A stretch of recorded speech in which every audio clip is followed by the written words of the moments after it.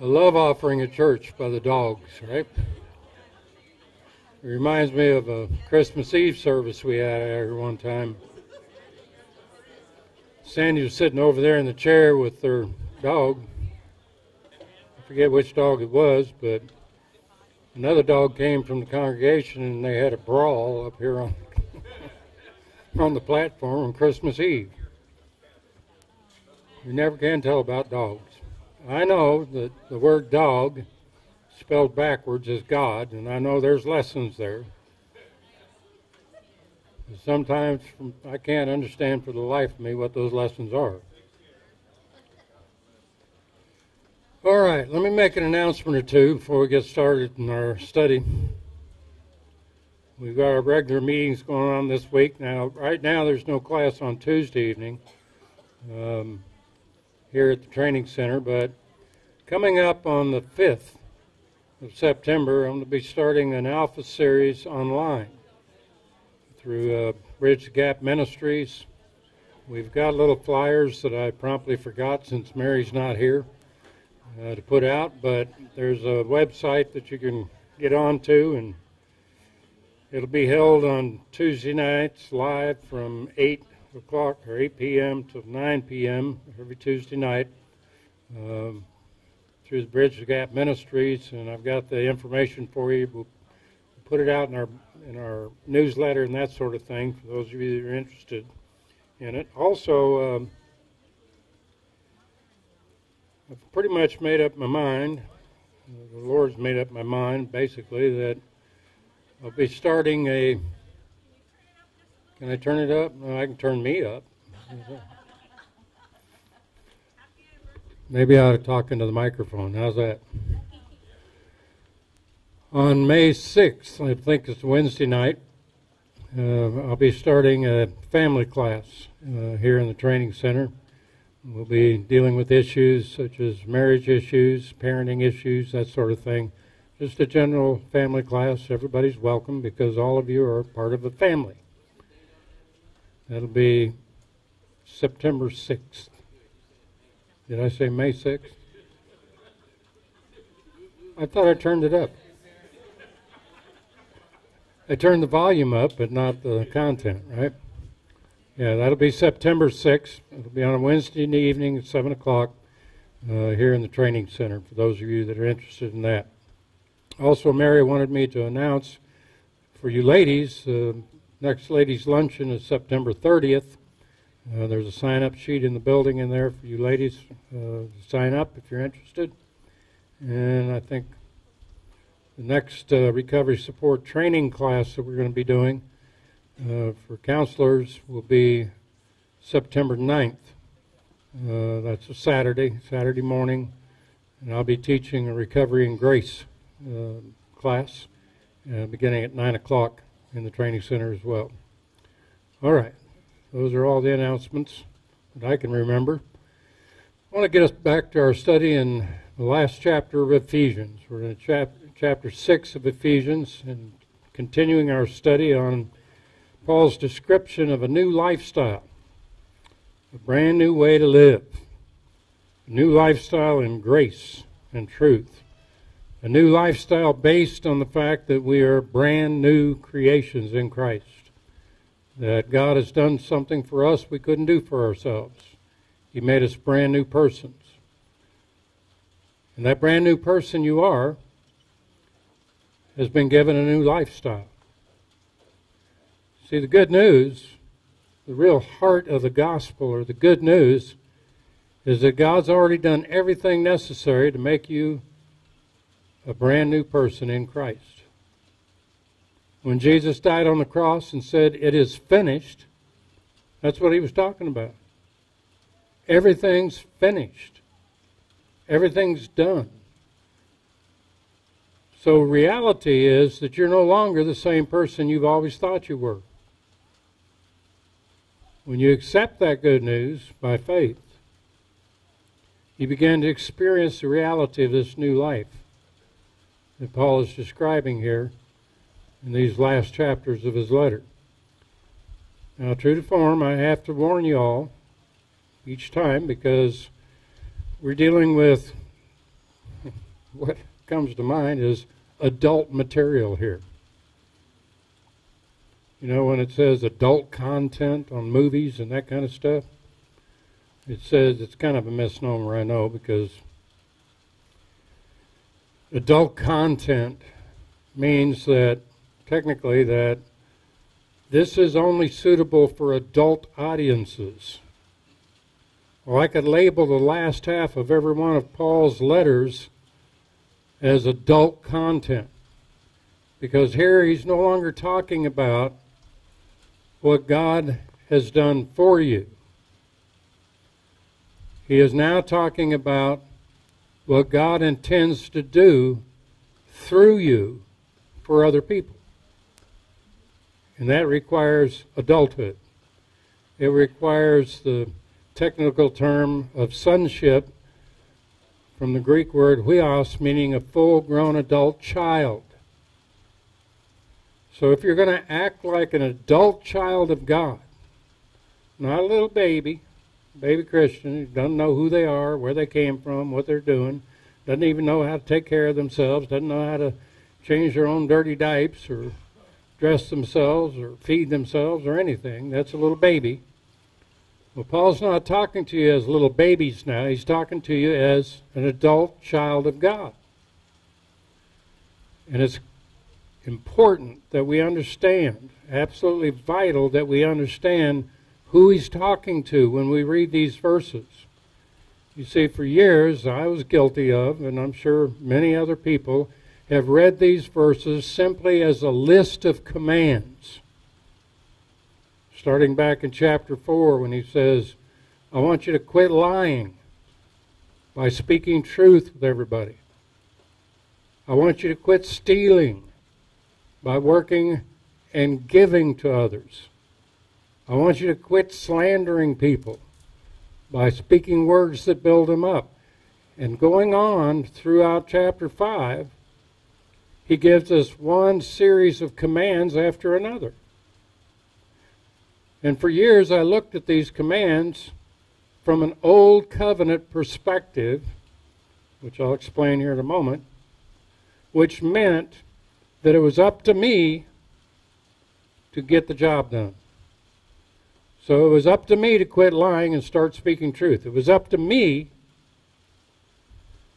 to quit slandering people, hating them, forgive them, and build them up. It was up to me to live out these commands.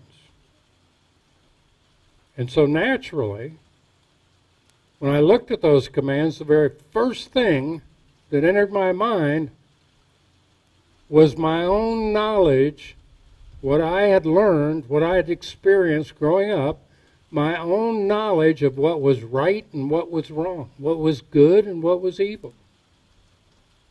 And I began to pick these commands apart. When he says, I want you to quit lying, I began to judge what I said, whether it was lying or not. Is exaggeration lying? How about when you tell those little white lies? You know what I mean by little white innocent lies like, yes, dear, your hair looks wonderful. No, dear, you're not putting on weight. No, dear, these jeans don't make your hips look big. Is that lying? You see what I got caught up in there? My own knowledge of good and evil, trying to figure out what is lying, what isn't lying. Why? So I could quit lying. Problem is, it didn't work. Never does. Because I was approaching these verses, that one command, as well, as well as the rest of them, from an old covenant mentality, a legal mentality. A legal mentality starts with a question is it right or is it wrong? And as soon as you take one step with that question, is this right or is this wrong? You're under the old covenant and you're on your own. That's what Paul was warning the Galatians about. He said, You fall under one point of the old covenant, you try to live according to your knowledge of good and evil, it's going to kill you. Now, I kind of understood that the that what he was saying in these verses was important. Okay, obviously it's recorded in the Word of God, but I couldn't figure out for the life of me how not to live under the old covenant, trying to figure out what was right and wrong, and trying to make myself do what was right and not do what was wrong, even though I failed many times. So I developed this kind of secondary religious philosophy in which I treated grace as mercy and relied heavily daily upon the forgiveness of God. It goes like this. Okay, I know it's wrong to lie. So, when I lie, I get honest with myself and I say, okay, you lied. When I lie, then I quick go to God, say, God, I lied. I'm sorry. I need mercy, and I want you to forgive me for my lie. And God says, okay, you're forgiven. Now I'm good to go, and I'm ready to charge hell with a water pistol again and say, from now on, I'm never going to lie again. I don't make it very long, and I lie. I thought I'd never lie again. Okay, uh, what I didn't do is I didn't tell, I didn't promise God I'd never lie again. So, God, I know I lied, but I promise you this time, you forgive me and I'll never lie again. I need your mercy, God. Okay.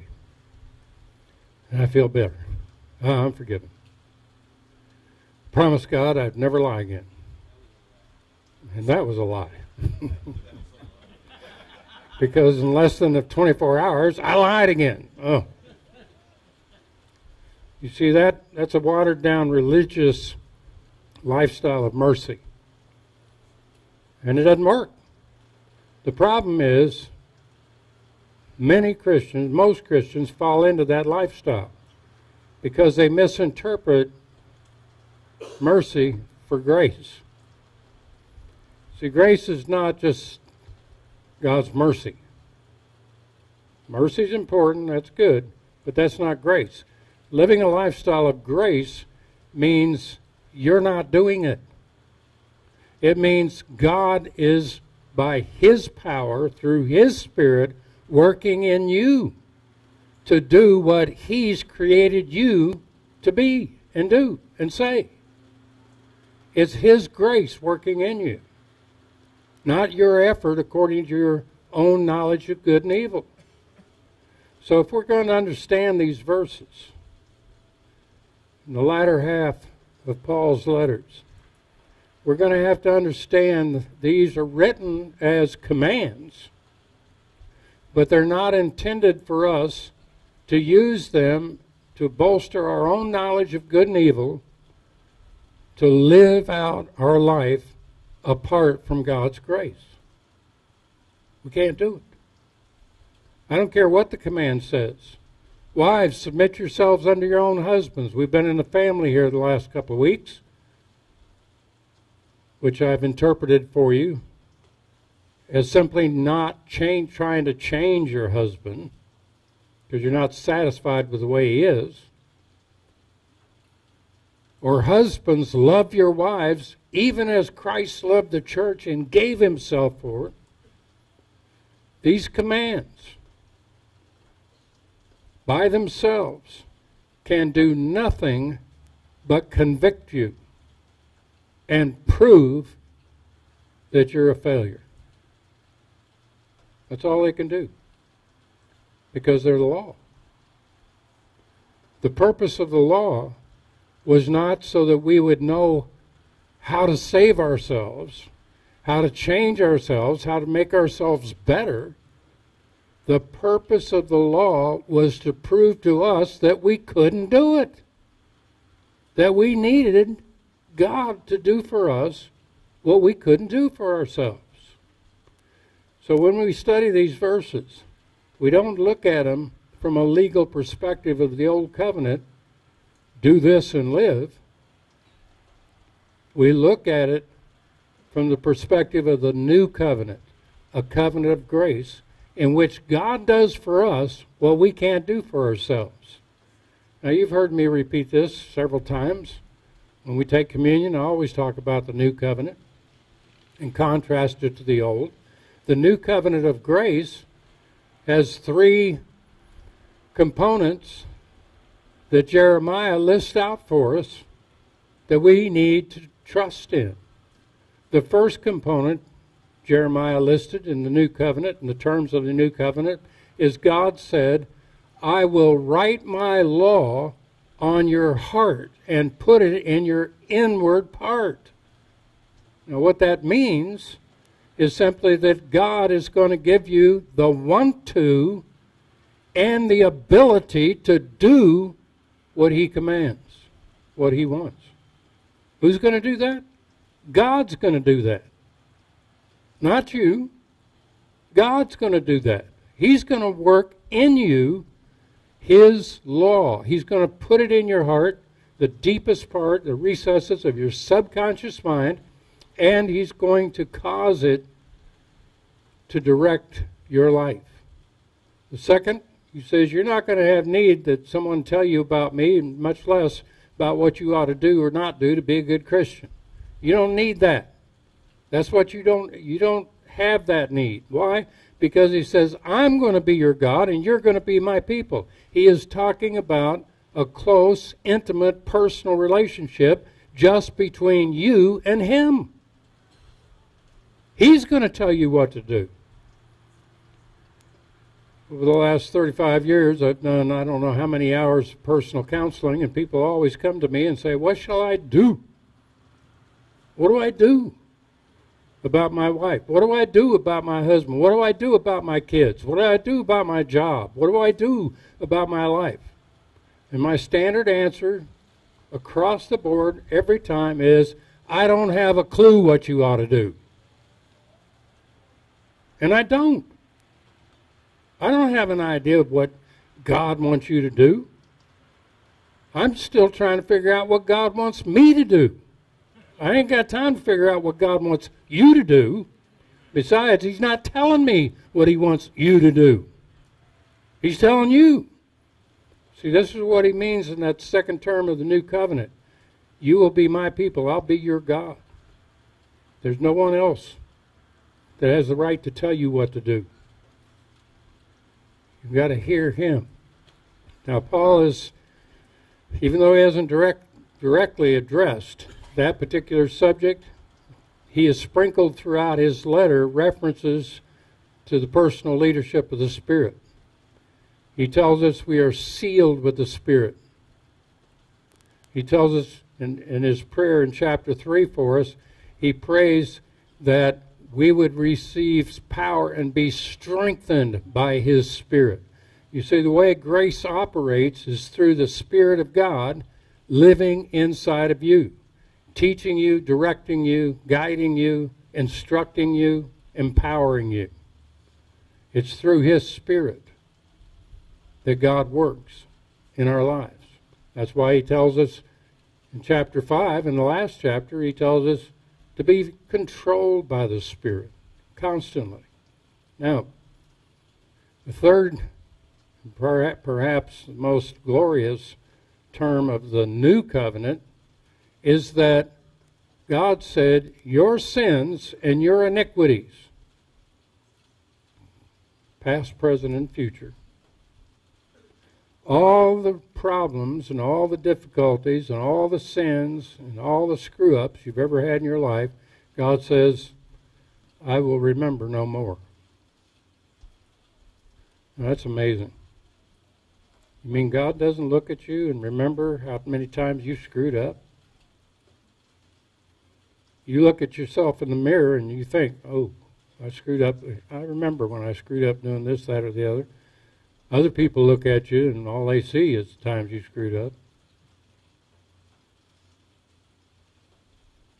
God doesn't remember any of that. Your sins and your iniquities I will remember. God can't remember them. Why?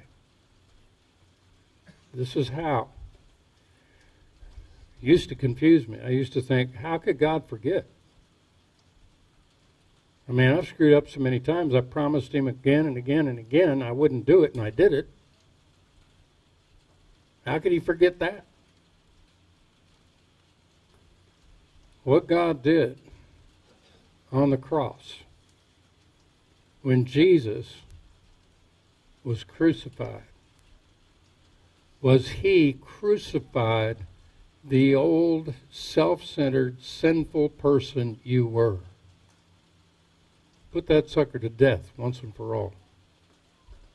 And raise up a brand new person that you are now, who is created in Christ Jesus, quickened together with him, who has the absolute righteousness of Christ, which means he never ha- you never have sinned, you're not sinning now, and you never will because you're this brand new person. That's how God looks at you. He doesn't look at a screw up that's trying to turn over a new leaf. No, no. He looks at one who has the righteousness of his son, Jesus. You're a brand new person.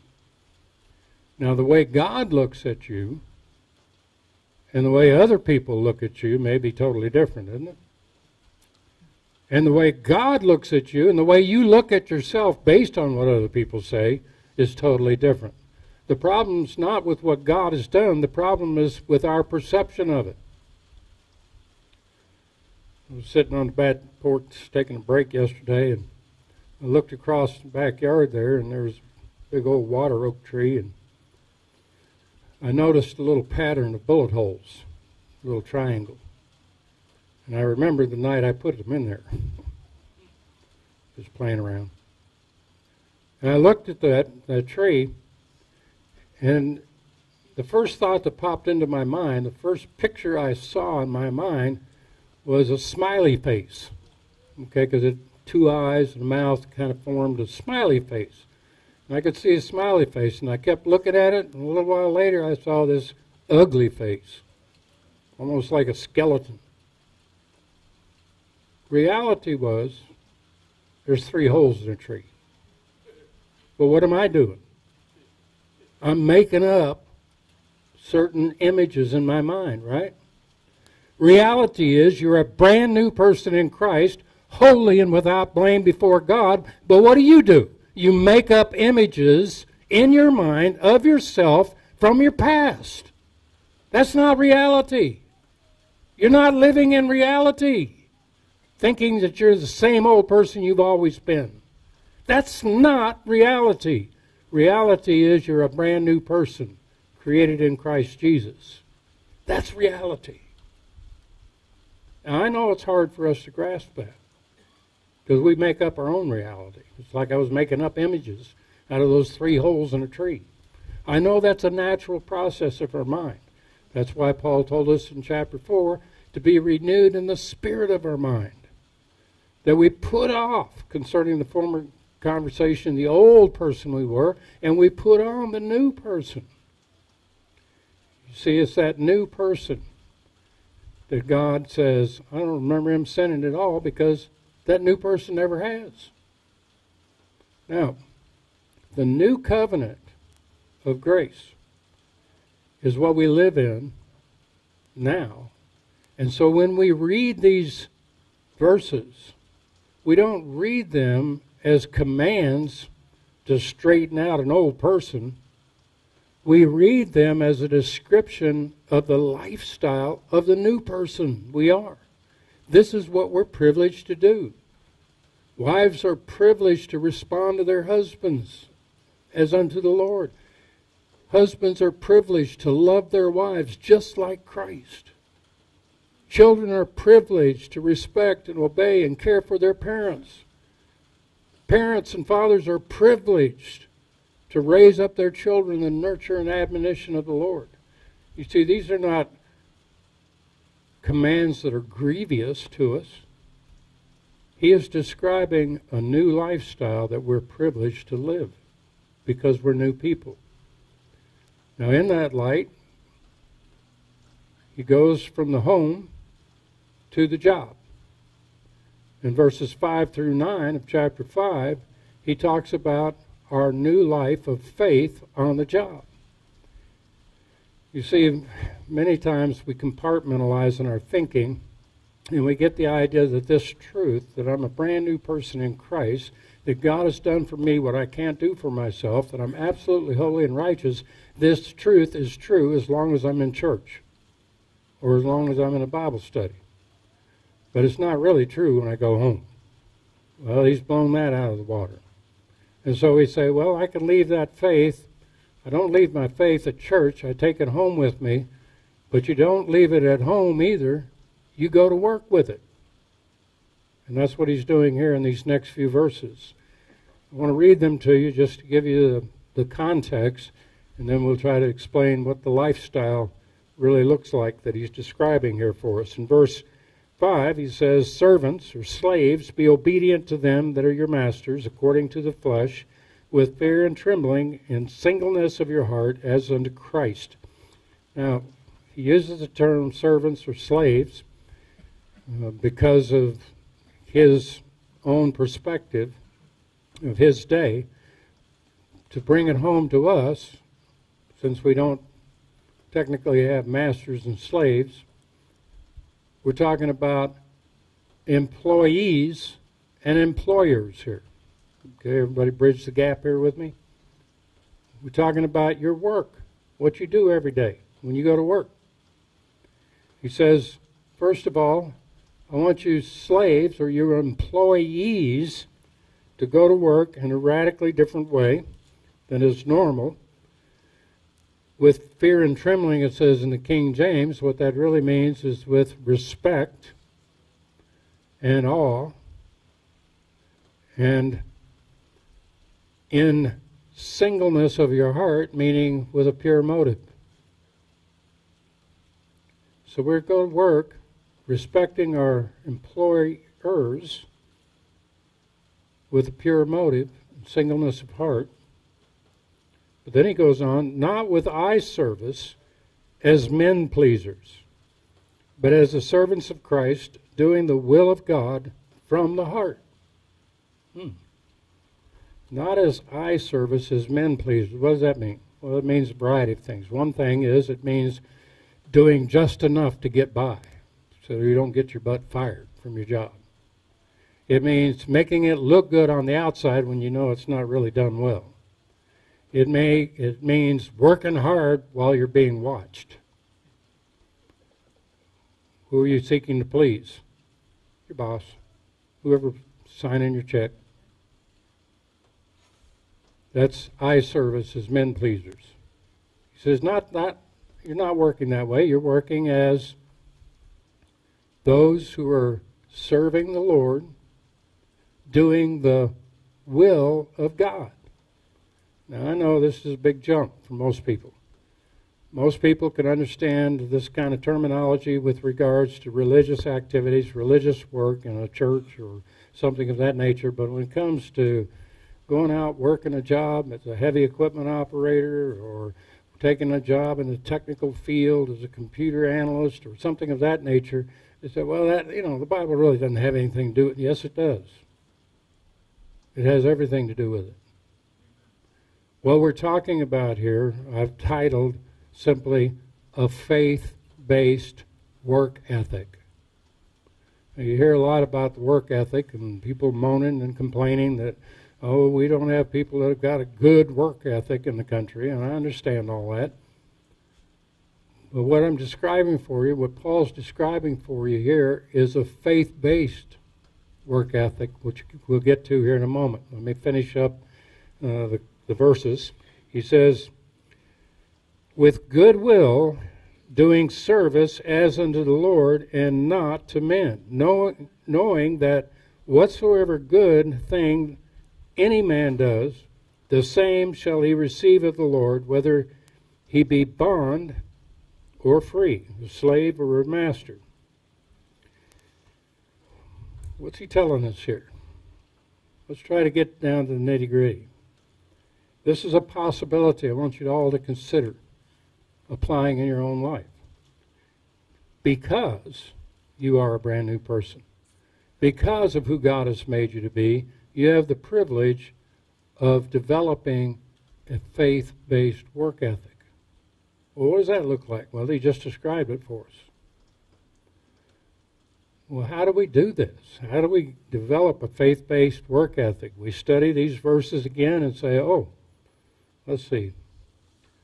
I got to do a good job. I got to have fear and trembling, which I'm not sure what that means. But it's some kind of respect for this boss that I hate. And it's going to be rough, isn't it?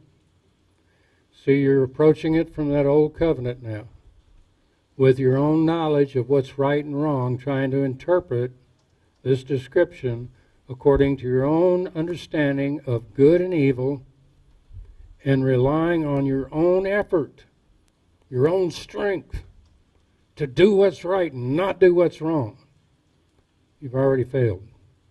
You're doomed. You can't approach it that way. Well, how do we approach it differently? under the new covenant. Remember this that grace has three distinct motives that lead us in our lives. The first is faith. And that faith is in what God says He's done for us that we couldn't do for ourselves. That's where you first start this faith-based work ethic. Is you start not by doing something or not doing something, you start by what you believe about you. Number 1. If you fail to start there and try to jump way on ahead to what you're going to do now, you're going to miss the boat altogether. Wind up back in the old covenant. Why? Because you've not exercised faith. See, the way you get into grace as a lifestyle is by what you believe, not by what you do, by what you believe. And when you believe what God says is true about you, what He says He's made you to be, you enter into grace. His work is working in you by faith. For by grace through faith are you saved. Now, Okay, I'm going to believe what God says is true about me. He's made me a brand new person created in Christ Jesus. I understand that. I'm also going to believe not only in my own righteousness that comes from God and who I am and that new identity, but I'm also going to believe in what God has me doing, why I'm here, what my life is about. So, what he's telling us is listen, you go to work believing that you're not really working for the man, the person that signs your paycheck. You're really working for God. That's what your life is about. Now, I know it's easy to confuse the two because we love getting paid. We like when people give us that paycheck. We love that. And we feel so secure and so significant and important when we get that paycheck. So it's easy for us to confuse that with God. But it's not God.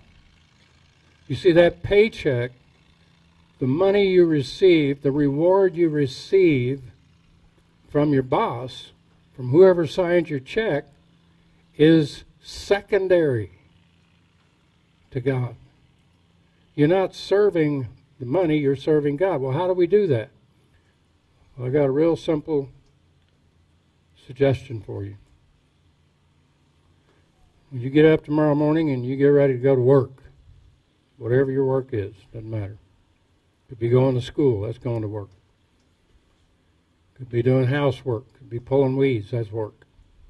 Whatever your job is, doesn't matter. You get ready to go do that job? Stop and ask yourself the question why am I doing this? Now, I'm sure if you're like me, there have been a lot of times you had a job to do and you ask, why am I doing this? Because it didn't make so much sense to you. But that's not really what I'm talking about. What I'm talking about is get honest with why you're going to work. Especially in those jobs you don't like.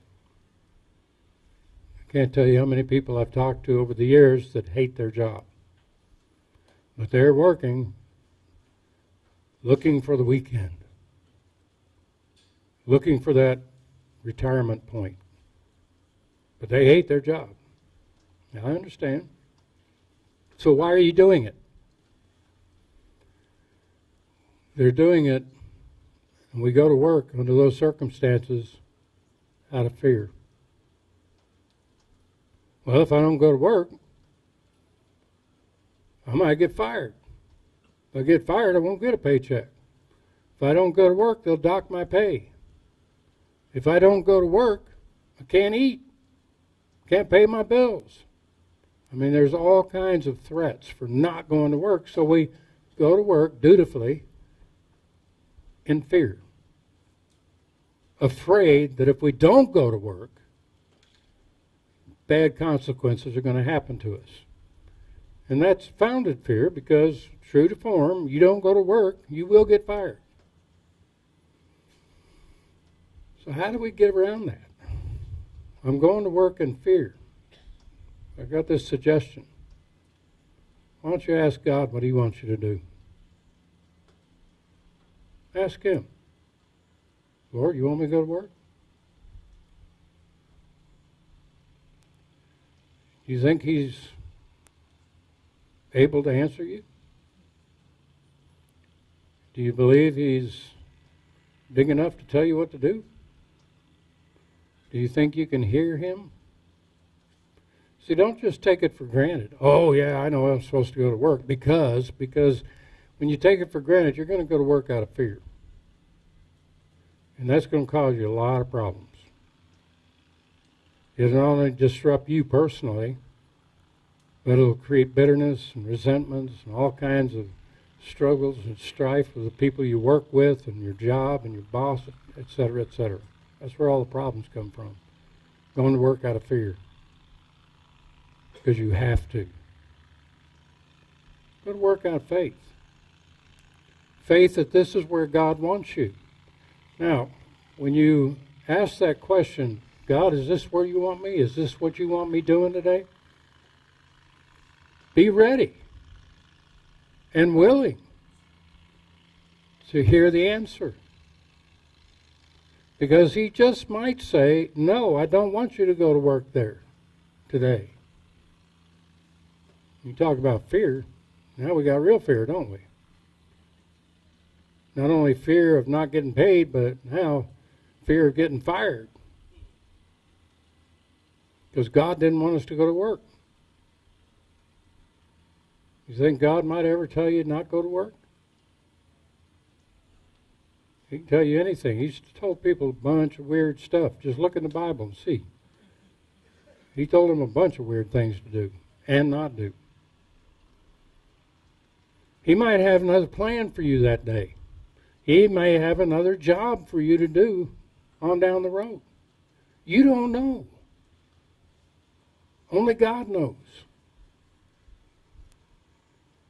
So let's assume, just for argument's sake, you say, God, you want me to go to work today? And he says, Yep. You're where I want you. This is what I want you doing. This is how I want you to spend your time and energy. Yep, I want you to go to work. Now, when you go to work under that condition, you have exercised faith. And by the way, it's an exercise. Okay, it's not an intellectual wondering, it's an exercise. That means when God says He wants you to go to work, you get off your butt and go to work. And when you do that, you're exercising faith. You put the ball back in His court. And You say, okay, God, I'm going because I believe this is what you want me to do. Now, exercising that faith, you are serving Christ.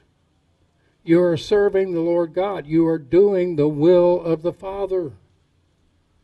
Whatever the job is, it doesn't matter. Whatever it is, you're doing the will of God. And with the exercise of that faith, there's another little personal benny that you get, and that's called hope.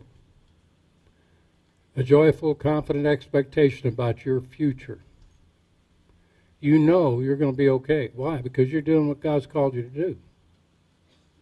You're doing the will of the Father. You've exercised your faith, and now you have hope, a joyful confidence in what you're doing, which will free you to actually love the people you work with, your coworkers, even your old boss. Never mind the other people you come into contact with. Where did it all start? It started with the exercise of faith in a grace perspective. So, a faith based work ethic is what he's describing here. And he's telling us we have the privilege to go to work for Jesus. We don't have to work for a paycheck. We don't have to work at the whims of other people. We work for God. He's your employer. He's the one with the absolute authority. And He's got you where He wants you to be, and you have confidence in that. You're able to care about other people. And in your caring about other people, including your boss, you do the best job possible. You see, the people who are the best workers are not the workaholics that are trying to, to be men pleasers with eye service. Those aren't the best workers. The best workers are the ones that are doing it as unto the Lord. Doing it and recognizing this is their calling.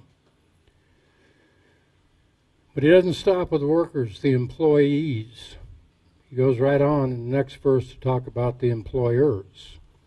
He says, And you masters, I'll close with this. He says, You masters, that means employers, people who are in charge of others.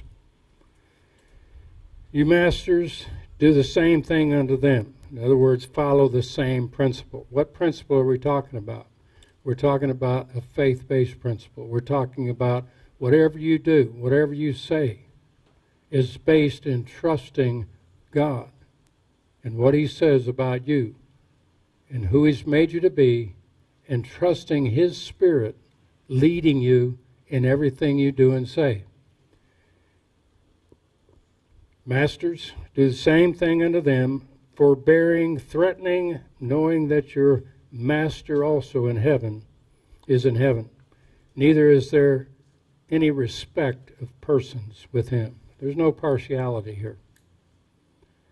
So, to employers, what he's saying is the same thing. You exercise the faith, the foundational, fundamental faith in the gospel of who God has made you to be, recognizing that He has put you in that position for His plan to be fulfilled. And you're serving Him. You're not serving your higher ups. You're not serving the ones you're in charge of. You are serving Christ.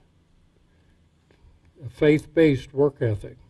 Now, what makes the difference between that and just looking at these as commands? Let me close with this. A New Testament perspective a grace perspective of these commands is meant to give you the assurance of who you really are. You see, our faith is not blind, folks. You hear a lot about having blind faith. Well, you just got to trust God, and, regardless of whether you can see how it's going to work out or not, I understand all that. But our faith truly is not blind we have the revelation of the Word of God Himself. And what He's written down here in black and white, He has written down so we can recognize when we're living in His grace. When I'm living in His grace, I go to work in faith. I experience His hope, and I'm capable of loving other people around me. You see, that's why He's writing this. He's not writing this to tell us what to do and to give us direction that we can follow under our own energy. No, no, no. Back up and include that faith element. But start first of all with the faith in who God has made you to be. Remember, you're no longer the same person you've always thought you were. That is not who you are. You are a brand new person created in Christ with a brand new mission, a brand new work to be done that only you can do, that God has placed you here to do. Your job is part of the work God has planned for you. You do it heartily as unto the Lord, with a hope that you can't lose, and you're free to be Christ to others and love them, even on your job. So he's applied for us the gospel across the board. First of all, in our general living, in those four commands in chapter 4, he went home with us, applied the gospel in our home life. Now he's gone to job or to school with us to apply the gospel there. It's the same gospel applied in all areas. And the result is the same. The result is a transformed life. When you're following God, when you're trusting Him, when you are actually looking to Him in faith, then no matter what you do, in word or deed, you bring glory and honor to Him, no matter what the job is. You don't have to have a world famous important job. You can have the most menial task in the world and do it unto the Lord.